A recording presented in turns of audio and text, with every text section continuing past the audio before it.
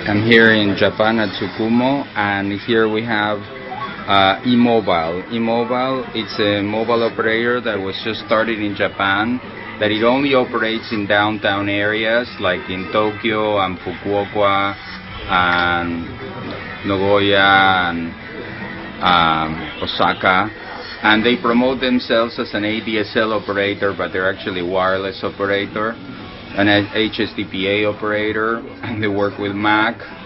Um, they sell these little, very little, tiny laptop. I understand it is a laptop in the sense that I don't think it has uh, voice functionality. I don't know how that works though, because I'm sure you can put Skype and other things. And uh, so what we're looking at is with this Huawei module to do an HSDPA uh, connector to the Fonera.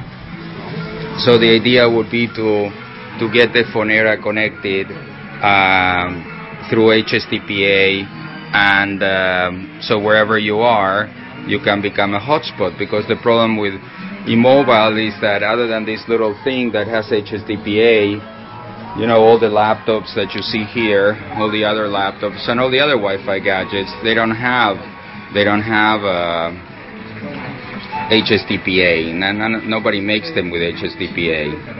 Uh, they all make them with Wi-Fi. So I think we could work very well with eMobile.